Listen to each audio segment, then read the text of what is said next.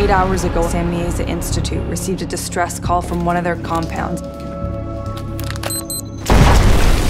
Alpha. We've entered the facility, starting our search. Looks like they found something in the ice. Dr. Chloe? They're coming.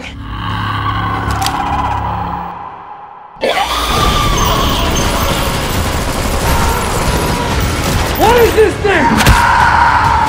The longer we stay here, the more dangerous it is for you.